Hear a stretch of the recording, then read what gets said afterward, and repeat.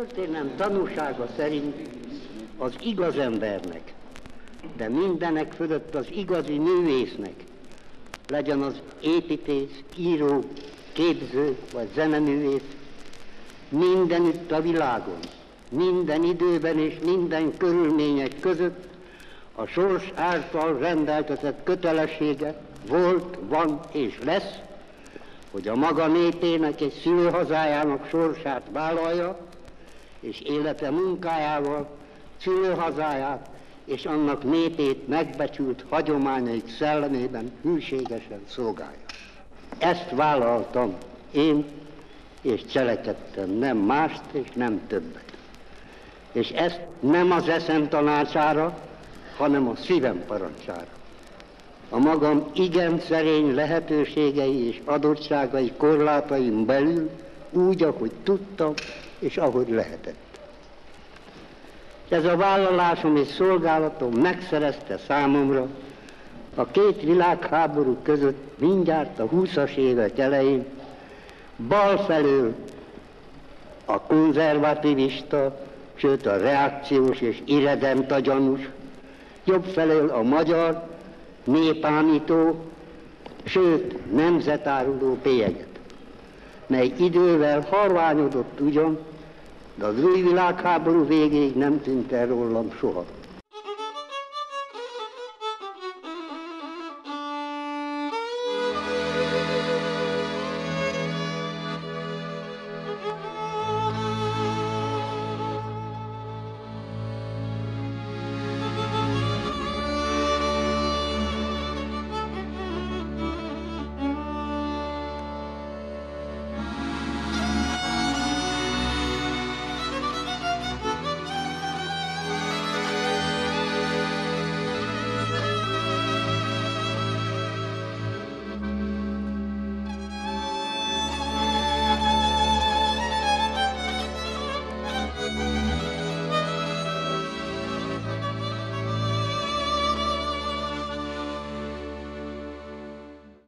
Tudja az Isten, hogy van a dolog. Én soha nem éreztem magamat annak, aminek mindenképpen be akarnak iktatni, hogy író vagyok.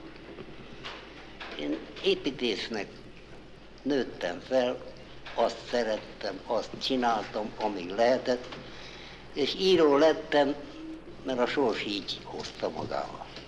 Amit csináltam, az magamnak csináltam mégiscsak úgy látszik, hogy nem csak magamnak csináltam, ezt köszönöm a sorsnak, és köszönöm a fiatalságnak, amelyik, amelyik még nem unta meg ezeket a régi szavakat, amiket én akkoriban leírtam. Én nem tudok szépen beszélni. Nem is azt tanultam, hogy beszéljek. Én a rajzasztalhoz és az íróasztalhoz szoktam hozzá engedjék meg, hogy, hogy így eldadogjak. Miről beszélhetek? Az életemről. Szép volt. Nehéz volt, de ma is azt mondom, hogy nem cserélném fel más élettel. Ha kellene kezdenem, ott szeretném, és ott tudnám elkezdeni, ahol akkoriban elkezdtem. Nem én határoztam meg, hogy mi lett belőlem. Nem én határoztam meg azt, hogy politizáltam, és, csináltam talán valami kis értéket is. De ez hozta magával az idő, a, a helyzetem, és az a szerencsém, hogy családommal nagyon szerencsés voltam.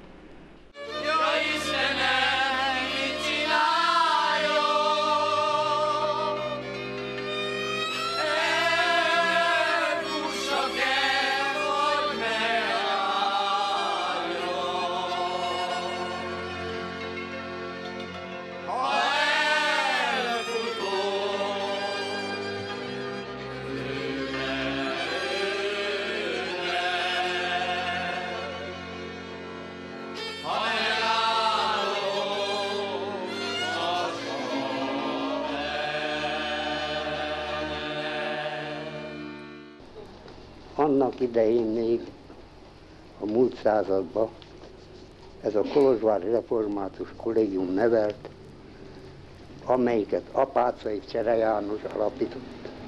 Ebben a szellemben nevelkedtem fel én, és ezzel a szellemmel kerültem később szinte véletlenül Budapestre a mi egyetemnek az építészet szakosztályára.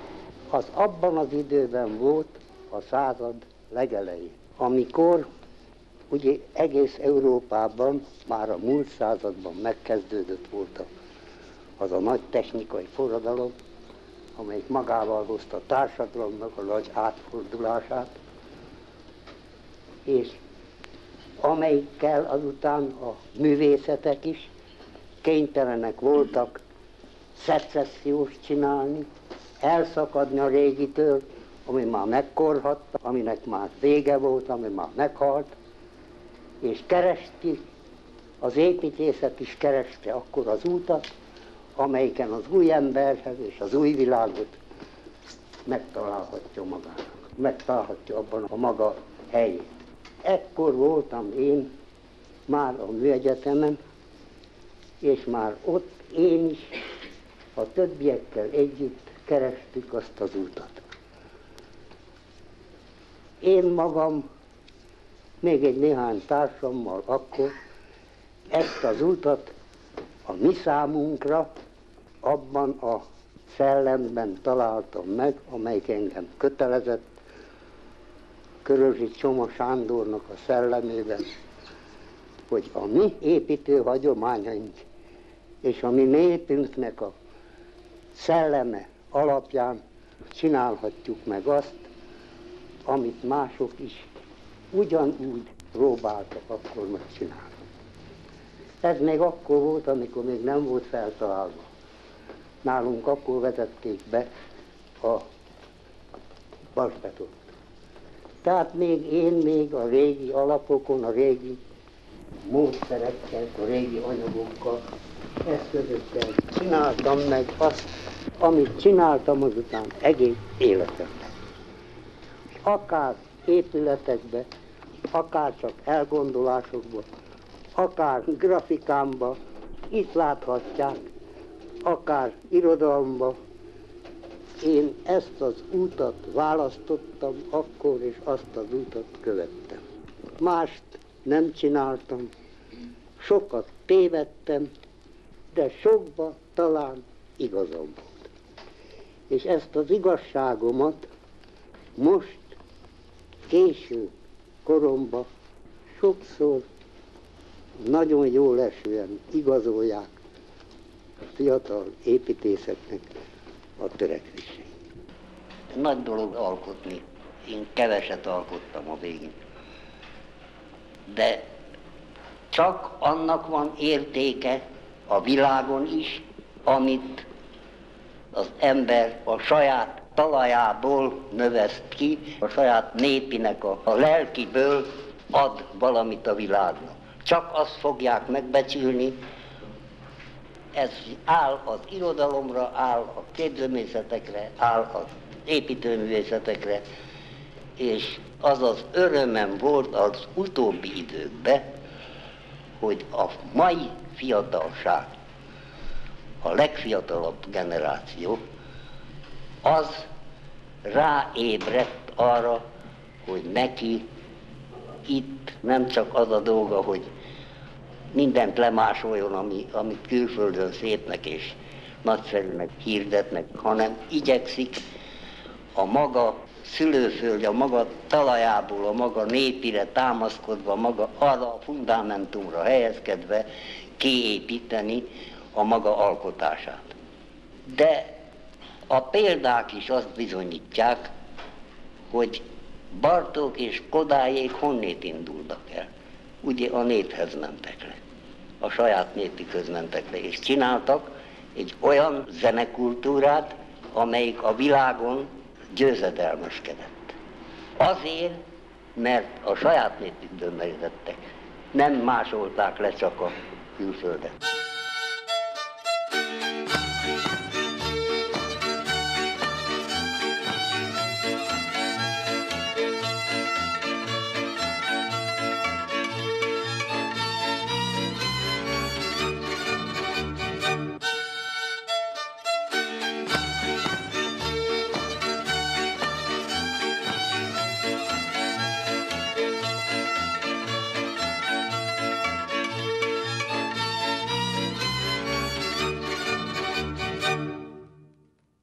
Örvendek, hogy nem felejkeztetek meg Erdélyről. Nem szabad Erdélyről megfelejkezni. Az nagy baj volna, hogy egyéb külföldekért. Mert sokan bejárták az egész külföldet, de azért még Magyarországot se járták.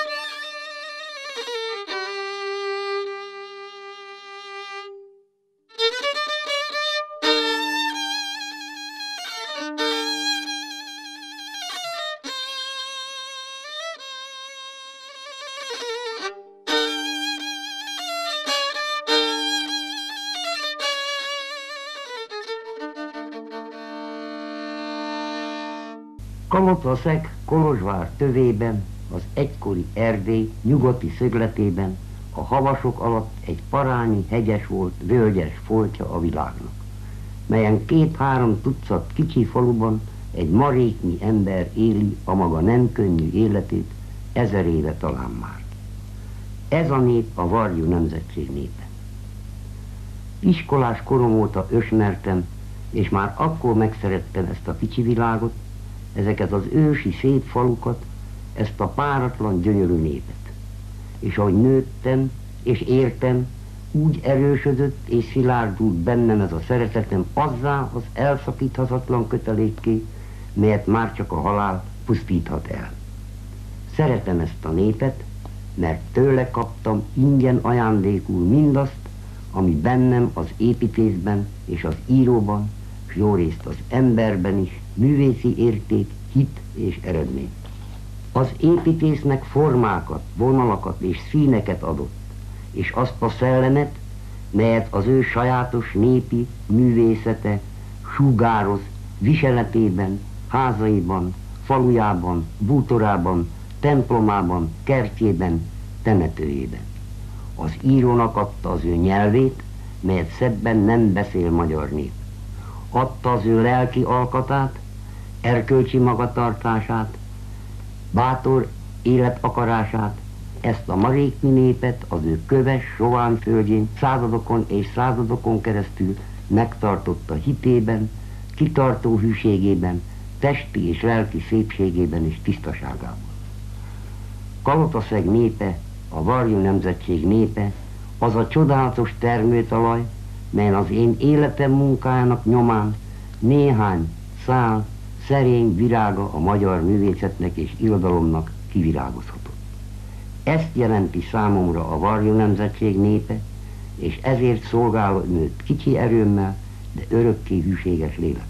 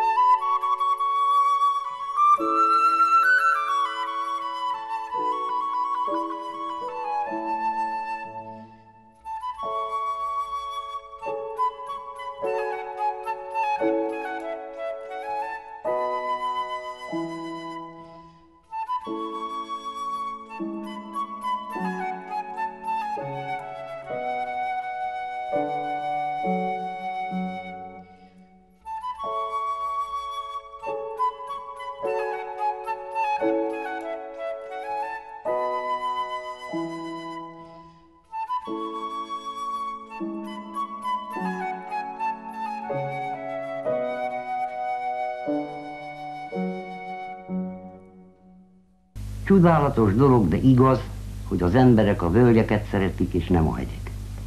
Talán mert félnek tőlük lehet, hogy itt fenn erdőt látnak, meg követ, meg felleget, aki az ormok körül tekerek, hogy itt fenn erősebben zeng az ivatar. De itt korábban kél a nap, és későbben nyugszik. Talán éppen ezért nem szeretik a hegyeket. Akik itt fenn élünk, emberrel ritkábban beszélünk, de sok mindent látunk mi.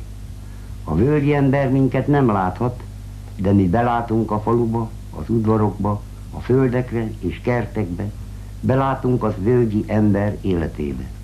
Mindent látunk és sokat tudunk, de ők nem is láthatnak minket. Ők csak a nagy hegyet látják, a köveket és a gomolygó fellegeket, aki minket beborít, és hallják zúgni a szelet. De minket nem látnak. A mi dolgainkat nem tudhatják. A mi életünk nekik titok örökké. Talán azért nem is szeretnek minket a völgyi emberek, mert az ember nem szereti, ha feje felett valami ösmeretlenséget tud. És mégis a hegyi ember örökké lefelé húzódik, mint a vizek, mint éppen a mi vizeink is. Mert sok gyönyörűséges víz fakad a mi hegyeinkben. Friss, tiszta vizek, fiatalok, örökké sietők és vidámok. A szamosok, a körös, a kalota, a sebes, az aranyos, a jára. És lám elfutnak tőlünk, mind elsebesen rohanva, zúgva, ahányan annyi felé. A sötét, hűvösen komoly erdőkből kifutnak a napos vidám világba, ami ennek ritka szép nyárvégi napokon a vlegyászáról látszik a föld.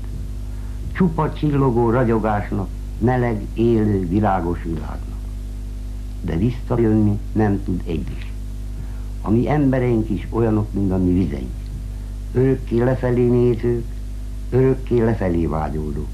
Mennek is, mindig csak mennek, húzódnak a vizek mentén lefelé, a völgyi falukba, a városokba. Sokan mennek és mint a vizek is, vissza nem tud jönni belőlük egy is fel a hegyre.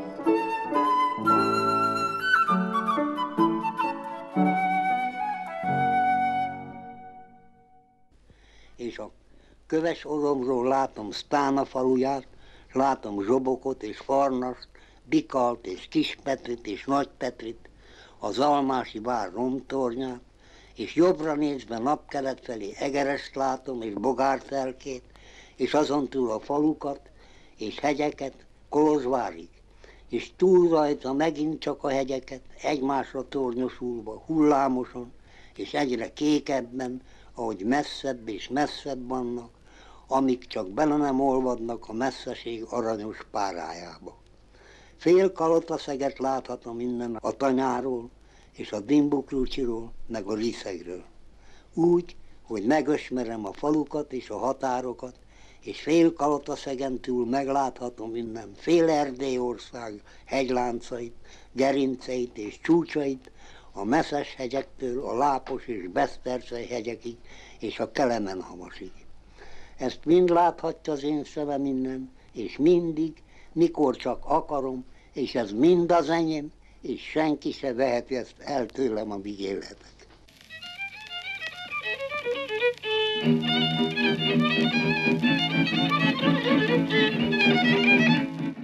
Én egy régi világban éltem, egy régi világot láttam, ami tökéletesen, teljesen felfordul, és látom a gyerekeimről, látom az unokáimról, hogy ez egy másik világ, és én már csak egy emlék vagyok.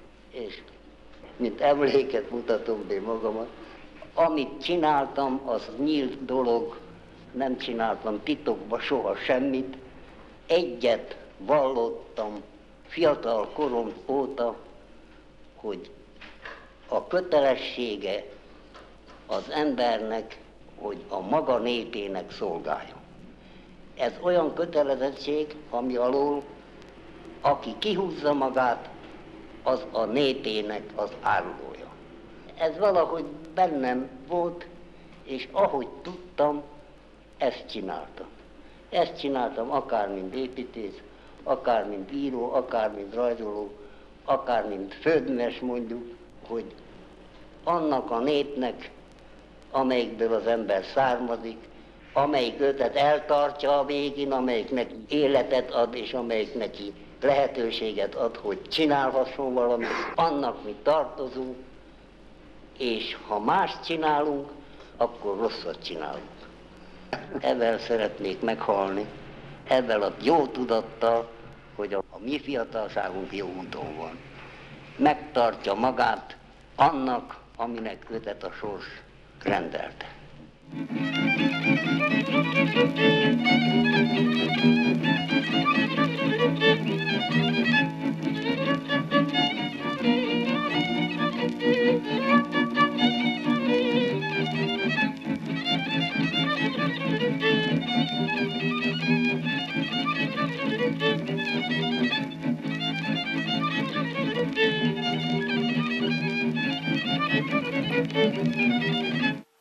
Mindenütt baj van. És ugyanaz a baj.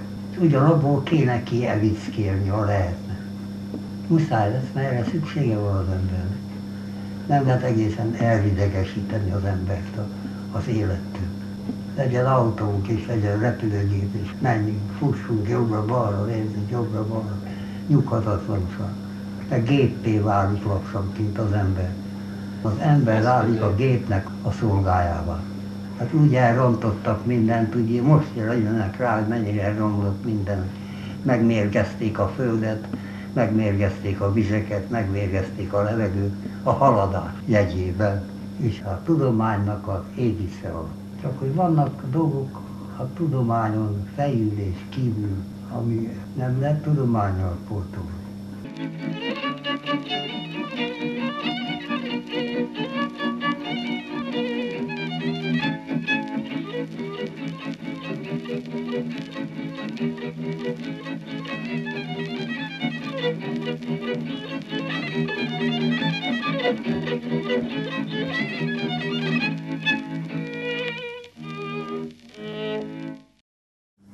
Tessék, aki kritizál, az tessék csinál jobbat. Megvan a lehetősége, tessék csinálni. Itt bizonyítani kell, nem beszélni, dumálni.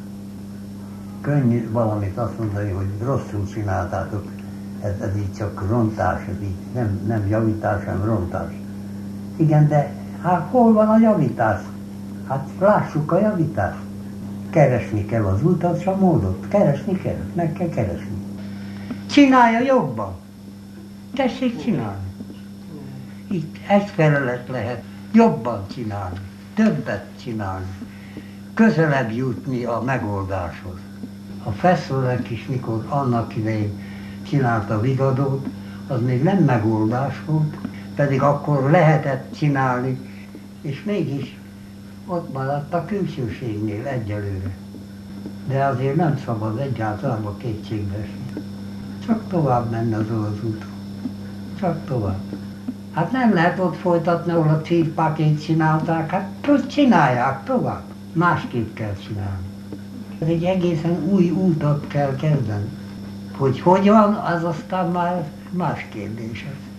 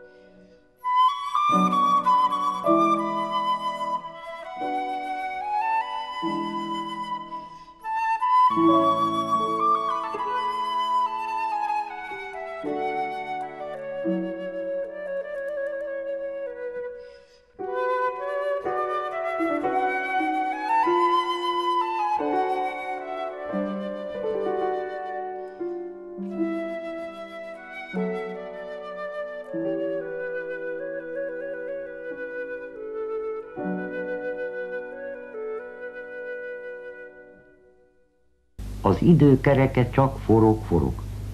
Emberek halnak és emberek születnek, a címtermekben elkorhadnak a régi fejfák és kidűlnek, de helyettük új ültetődik be a földbe, és valahány új fejfát farag a faragó ember, annyit csetni bölcsőt is hímez veres tulipántal, meg bazsarózsával, új anyák szíve örömére.